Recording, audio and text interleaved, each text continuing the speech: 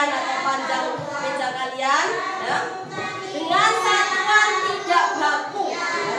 dengan satuan tidak baku mengukur, mengukur benda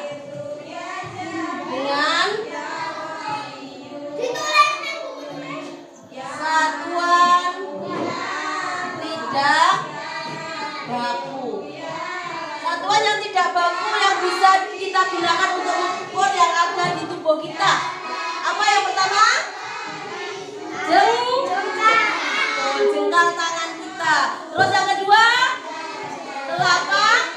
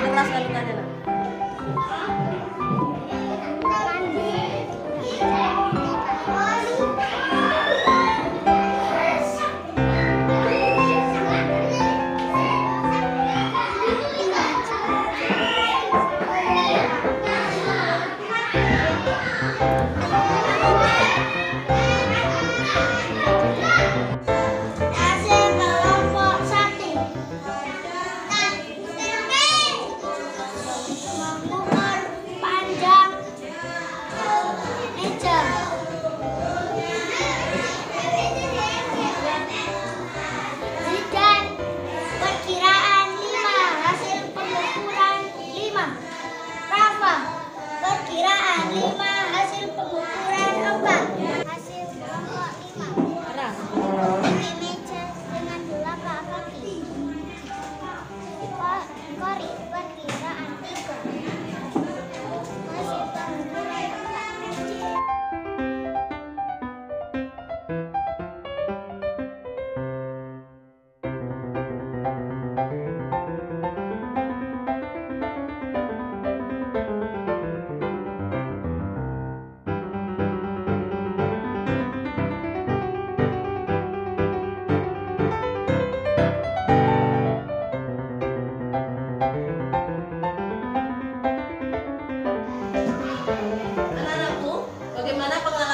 Gracias.